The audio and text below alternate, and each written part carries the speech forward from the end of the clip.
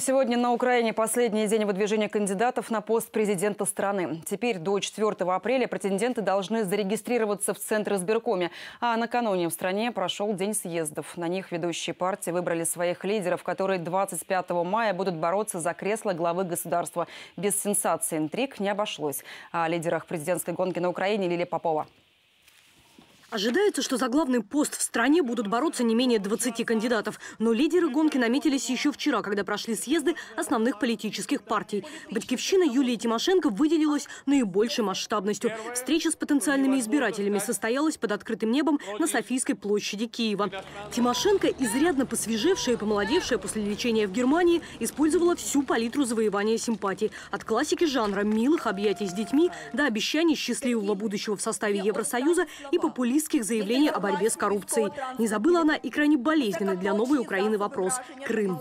Я должна вам сейчас очень искренне сказать, я не верю, что власть когда-нибудь сама начнет бороться со своей коррупцией. Просто не верю. Я считаю, что коррупцию власти, которая стала воздухом, которым дышит сегодня украинский народ, надо разрушать и ликвидировать извне. Я ставлю своей целью прекращение оккупации в Крыму.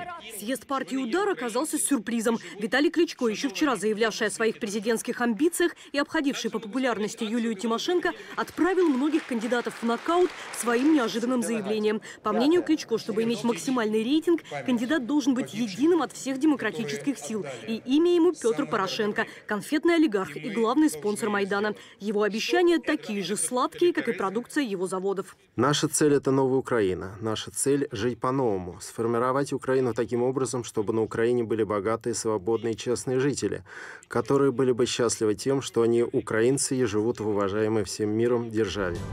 Сам же Виталий Кличко уходить из политики без боя не намерен. Я принял взвешенное решение баллотироваться на пост мэра. Я хочу сделать Киев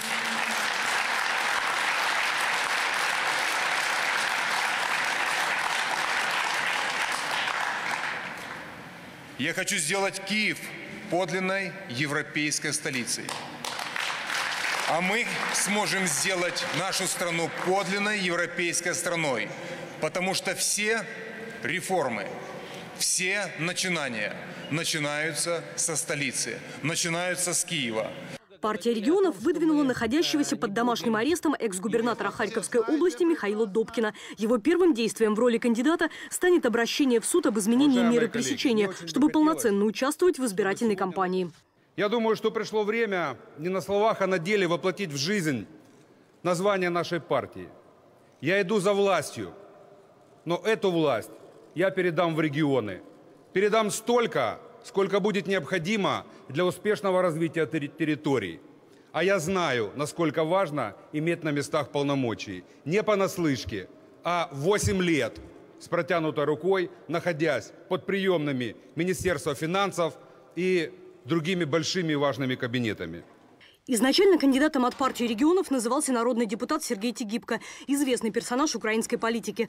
На прошлых президентских выборах он занял третье место. Сейчас говорит о намерении идти как самовыдвиженец. Националистическая партия «Свобода» своим кандидатом назвала лидера Олега Тегнебока, того самого, который выступал за введение визового режима с Россией и чьи соратники недавно устроили самосуд над директором украинского канала, который осмелился показать в эфире Владимира Путина. Нам надо сохранить территориальную целостность украинской державы. Нам надо, чтобы наконец-то начался процесс очищения власти. Но пока блогеры и журналисты подсчитывают денежный эквивалент величия самого Тигнебока. Вот якобы принадлежащие ему иномарки с непростыми номерами стоимостью в несколько миллионов рублей. А вот дом политика, строящийся на территории заповедника. Предварительные опросы общественного мнения в лидеры гонки выводят миллиардера Порошенко. Предполагается, что основная борьба развернется между им и Юлией Тимошенко. За пост президента намерены бороться и масса самовыдвиженцев, начиная от бывших прокуроров и министров до Дарта Вейдера, выдвинутого интернет-партии и главного врача Майдана Ольги Богомолец. Наиболее одиозные фигуры – лидер правого сектора Дмитрий Ярош и националистического движения «Свобода» Тигнебок. В их распоряжении находятся тысячи вооруженных радикалов. Как они отреагируют, если результаты выборов будут не в пользу их предводителей? Опыт силового решения проблем у них уже имеется. И будет ли это действительно свободное волеизъявление народа в областях, где ситуацию контролируют вооруженные молодчики? Да и беглый Виктор Янукович вроде себя положил полномочий не слагал. Можно предположить, что часть стран и вовсе не признает эти выборы легитимными. А по мнению экспертов, какими бы ни были результаты, они только усилят раскол в обществе. Потому что лидера, способного объединить и примирить западную и восточную части страны, по-прежнему нет. Лилия Попова, ТВ-центр.